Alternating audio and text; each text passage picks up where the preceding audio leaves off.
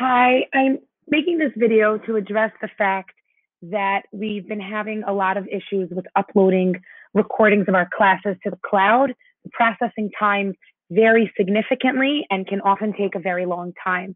The first thing I wanted to do is explain why this is happening. Suddenly, um, nearly everyone in the world, um, I mean, that's for sure an exaggeration, but so, so many people are using Zoom. And I believe that this is overwhelming their servers, which is why it's taking so long to process.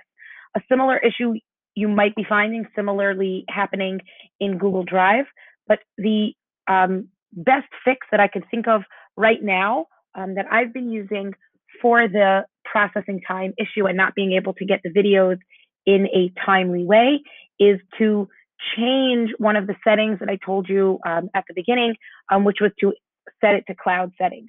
So if you sign into your Zoom account by going to flatbush.zoom.us and hitting sign in, you will get to this page. I went to settings. I'm going to recording. And instead now I clicked local recording. It's still recording to my cloud, so eventually it'll get up there, but I'm allowing it to have, I'm giving it, I'm asking it to please give me a local recording. Um, I still have it on automatic recording, but the important thing here is that I allow for a local recording. Now what happens is as soon as my video, as soon as my meeting ends, um, I get this little screen that says that it's converting, it, and then it pops up right there on the computer.